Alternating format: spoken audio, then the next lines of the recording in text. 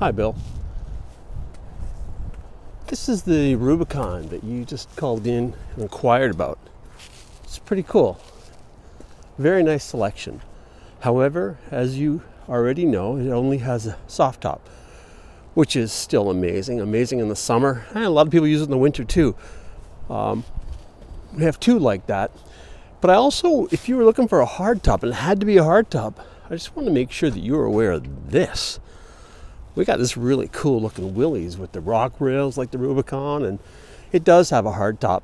It's pretty nicely equipped. So if you are interested, please give me a call. I'd be happy to help you out with that or find out if it's one of these other vehicles, one of these other Jeeps that I could be of assistance with. Thanks, Bill. Look forward to your call.